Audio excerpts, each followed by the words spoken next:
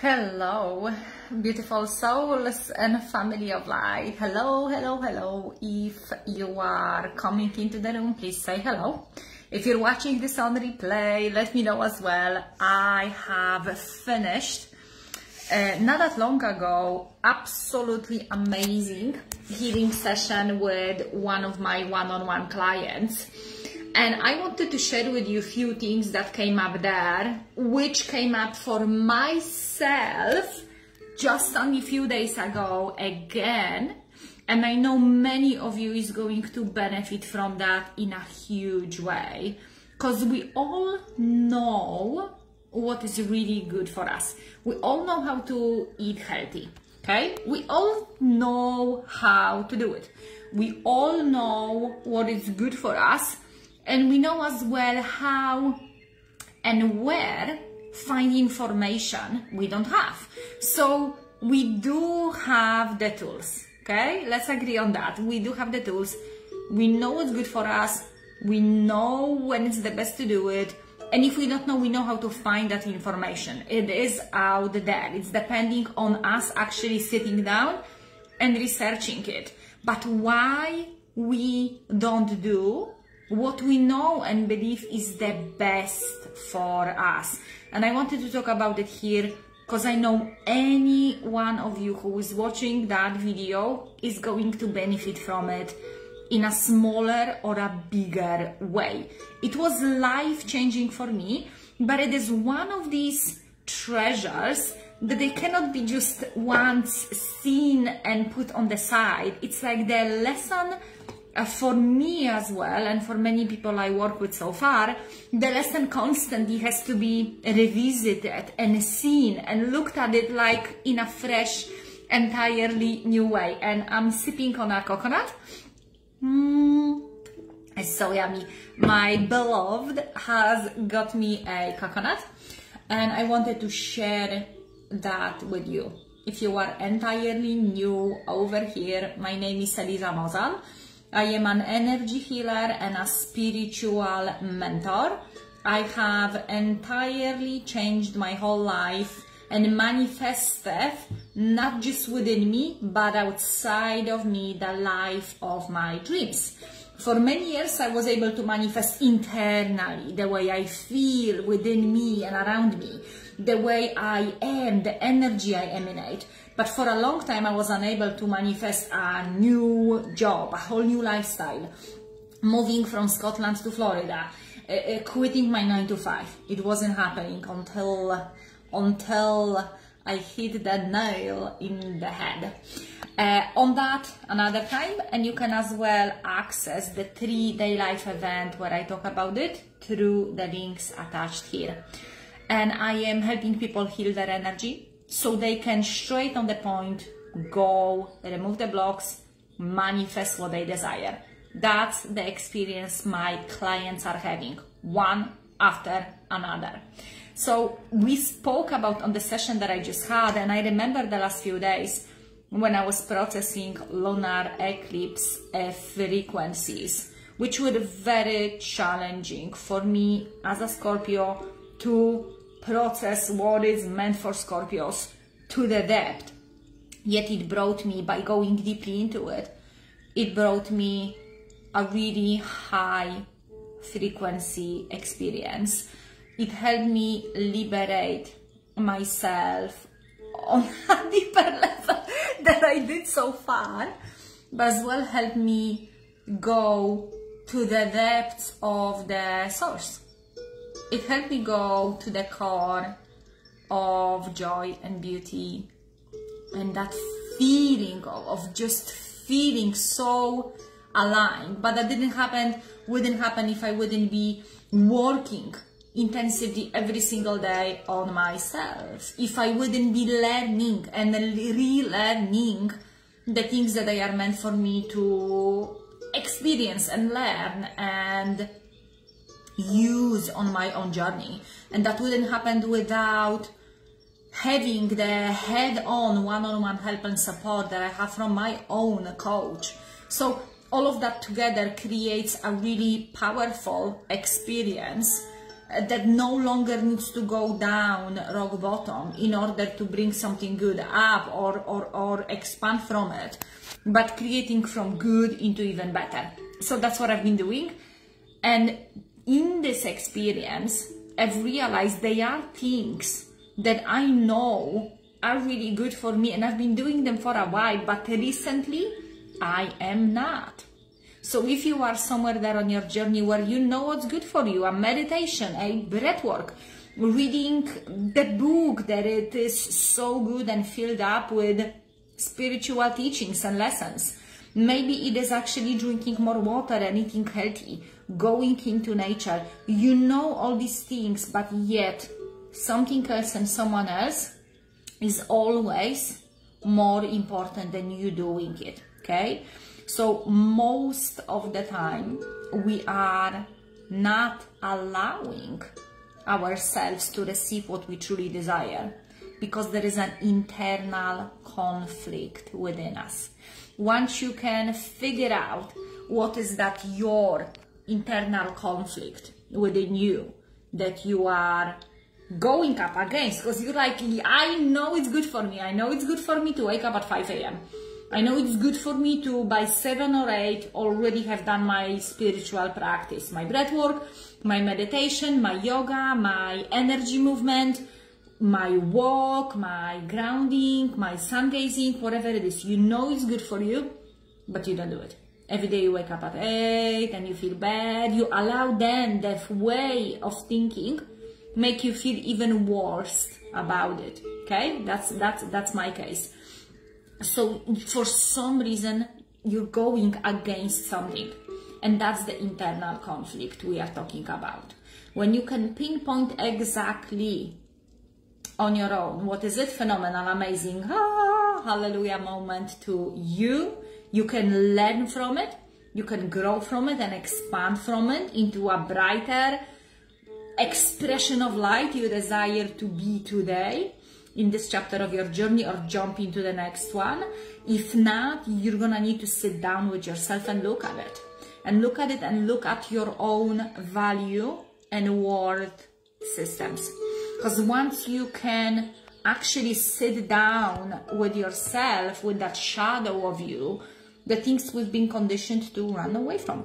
Because we've been taught, God forbid, the last thing you can ever do for yourself is to sit with you in silence. This is, you, you cannot. You need to drink alcohol, you need to take drugs, you need to uh, uh go and run away. You need to constantly occupy yourself with fulfilling others' needs. Never ever go into your own one. That's the core of codependence, okay? I'm using the way I speak about it in funny way because once you heal from something, it's really good to laugh. It's really good to laugh at it. And if you are in a seriousness mode at the moment about it, maybe you're just starting to heal your codependency. It might be challenging for you to look at it in this way, but that's the way it works for me right now. So allow yourself to sit with that stuff and, and look at it. Okay, I know this is good for me I know this is what I would benefit from so much. I know that this specific course or person or a group of people would shoot me up on my own game, in my own business, so high and so fast. Yet, I'm listening to why not. I'm not taking that action. I'm not doing it. I know it's good for me to cleanse my skin and do my face mask and all of it, but I don't do it. So what is it that you do in your life? You know it's good for you. Every day or every week you think about it, but you don't do it. And remember as well, each time you think about it, in a way you're doing something wrong or you don't do what's right, you're pressing and suppressing down even more resistance towards you. So you charge yourself with even more particles of frequency of guilt and shame. I seen it. I know you're doing something wrong. That's not okay. Shame on you, Eliza. Okay? So each time you do that, every single thought, every single day that goes by without you doing the thing you know it's the best for you, you're accumulating more and more guilt and shame. If you can sit with it, it will be challenging because you are now facing all of this accumulation of guilt and shame. And it can be overwhelming and it can be extremely painful. I know. I know. Trust me, I know. I was a world class queen sponge of sponging others people guilt and shame and and being a sponge for this lower frequency. So I know what does it feel like to sitting down with yourself when you are overflowing with those unpleasant energies. So trust me, it gets easier, it gets better, and it gets really smooth and nice when you work with someone who did it already. Okay, so if you cannot do it on your own, hire someone, get a team, allow yourself to receive something different in your life. Because from different actions come different thoughts, from different thoughts, different emotions, and then again, different actions, different results at the end of it. And, and look within and look at it, what am I going against? Okay, what am I going against? So usually we go against belief that I've got to take care of someone else first. Someone else or everyone else is more important than I and their opinion of me decides of my worth and value. And when you can pinpoint and look at it, where am I giving my power away by allowing my mind, old conditioned mind, to tell me that if I will take care of someone else first, it means that I'm taking care of me or that's okay. Okay? So if you're taking care of someone else first and they're not a child or infant and you don't find time for yourself you create a, a dynamic a codependence dynamic because you are trying to pour from an empty cup and then you are feeding everyone and everything around you with empty energy and and then you know there is a question where is the lack because we operate from a from an energy of lack and i did it all myself I would constantly be so focused on what others think of me. And I did it subconsciously. I just had no idea that was my subconscious program. So feeding others first instead of feeding yourself first. Because we always have time for that juicy, beautiful breath. We always have time for ourselves, whether it's five minutes or five hours, it's depending. But we still have the time to go within and look within. And what we realize actually is that we don't do these things because we don't feel worthy of receiving the results that come from taking those actions. Okay? And that's a huge revolutionary thing that I found it for myself and for everyone I work with so far. I am not taking care of myself first because deep, deep, deep inside of me, very deep inside of me, I just don't feel worthy of having that which I desire.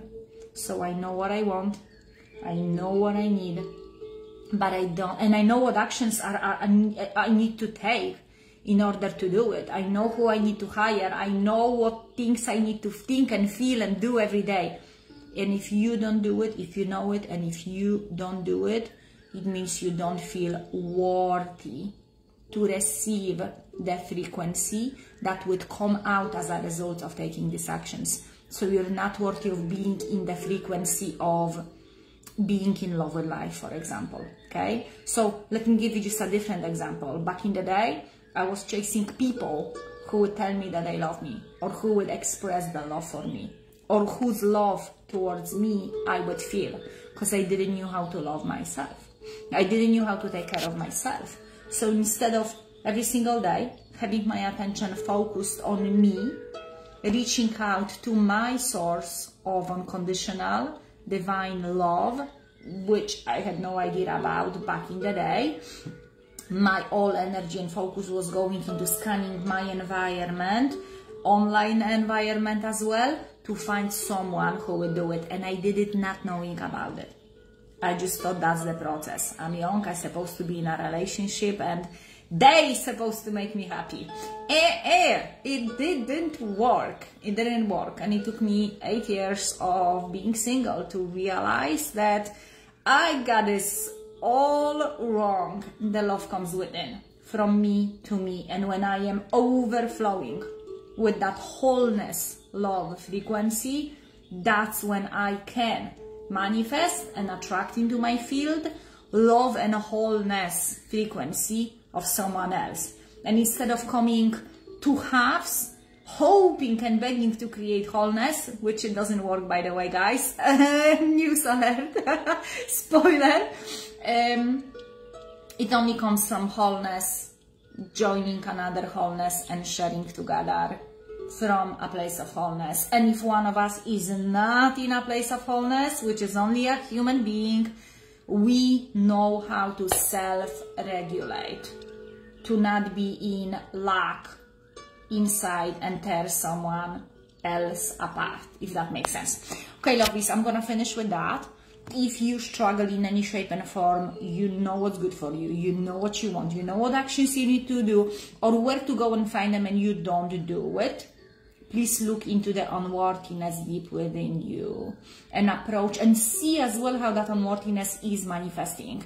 Is it a thought of what others will think of it? Oh no, that's too crazy. I really desire it, but that's not what my parents taught me, okay? So look how that unworthiness is manifesting. And at the end of the day, please know that it is only a voice in your head that pretends to be someone else and it is just a voice in your head. You do not you do not have to obey. You can obey your heart's desires, which is true you, true soul energy, true joy and pleasure that wants to be expressed in your own unique way. And if you feel like you are ready to step up on your journey and join me for four months of revolutionary life changing experience of mastering your energy and learning how to not allow any lower frequency to take you out of alignment, learning how to find this unworthiness and how it shows up and take care of it in a new way, in a loving way, in a kind way. If you want to expand and grow on your journey, maybe it's a desire that you would like to be in a beautiful loving relationship okay? This is for you. Maybe your desire is to expand in your own business quit your 9 to 5 and energetically become the frequency that allows it to receive it okay? If this is you this mastermind is for you. Energy mastery empire starts very soon. Let me know or check through the link attached if you feel called to join us.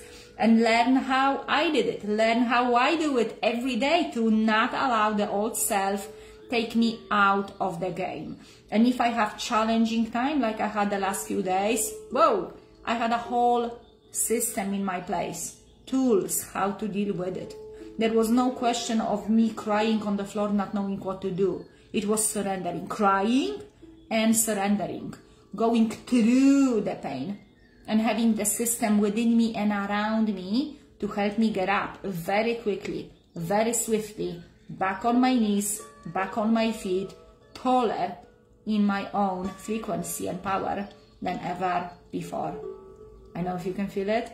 I feel magnetic. I feel like a million bucks. I feel like the most phenomenal frequency of me I can possibly be right now. And this is exactly the frequency which I'm constantly growing from. I'll be sharing for four months with a small team that will choose to step up together with me into the next chapter. If this is you, do not wait, do not miss your opportunity, take an action ASAP buckle up, it's going to be alright, and it's going, going to remember it for your whole life. I'm sending you lots of love, and I will see you soon.